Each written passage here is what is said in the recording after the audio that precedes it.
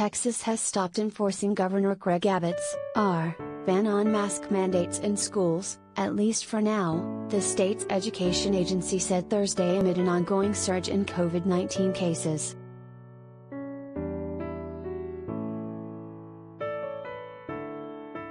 The Texas Education Agency issued a public guidance letter saying it would stop enforcing the widely criticized ban, pointing to ongoing court challenges. The guidance also updated how schools are required to handle positive COVID 19 cases in classrooms. Previously, the state agency only recommended districts notify families, teachers, and staff in close contact to a positive case. Now, districts will be required to make those notifications.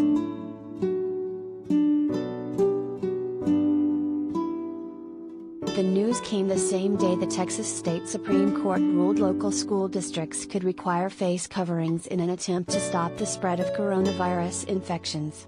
That ruling is temporary as challenges to Abbott's order wind their way through the court system.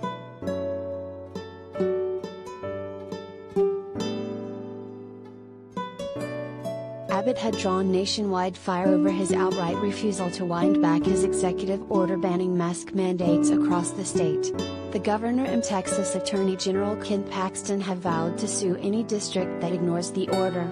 The Dallas Morning News notes Paxton has published a public list of districts that have violated the order in an attempt to shame them.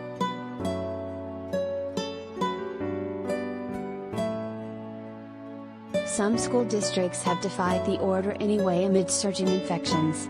The Associated Press notes that at least seven counties and 48 school districts, including those in Dallas, San Antonio, and Houston, had issued mask requirements.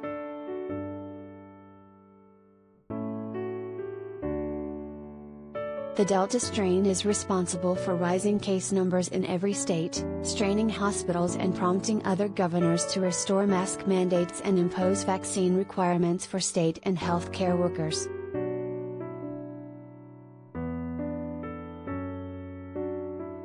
Abbott himself tested positive for the coronavirus this week, despite being fully vaccinated.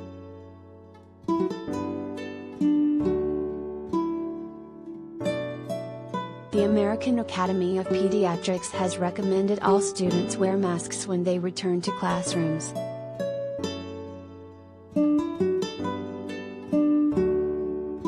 Public health officials have expressed alarm at the surge in COVID 19, particularly as many students aren't yet eligible for a vaccine.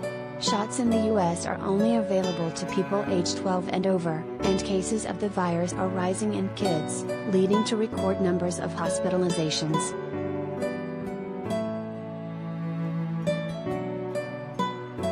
Do you have information you want to share with HuffPost? Here's how.